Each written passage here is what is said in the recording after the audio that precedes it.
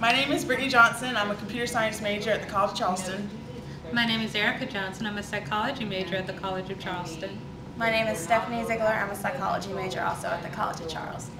And today we had the privilege of listening to Tawan Perry talk about grad school and grad school resources and just little advice about grad school and it was probably the most informative, helpful piece of information I've had so far on grad school.